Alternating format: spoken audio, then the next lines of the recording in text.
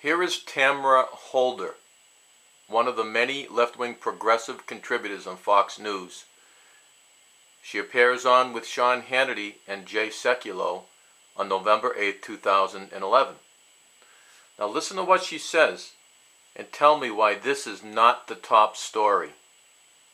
What would be the reaction if she were a conservative making this statement about Obama?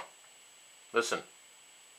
She never went to the police. However, Sean, Herman Cain did this to himself. He's the one that put that noose around his neck and started tightening it as quickly Huh? as he could. A noose around his neck? Dismissing, What does that mean? dismissing the claims of the women. He is hanging himself. He dismissed the claims Huh? of the women Hanging he himself? settlements with.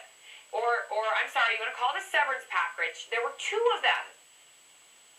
You get the point? Hanging himself, noose around his neck? Are you kidding me?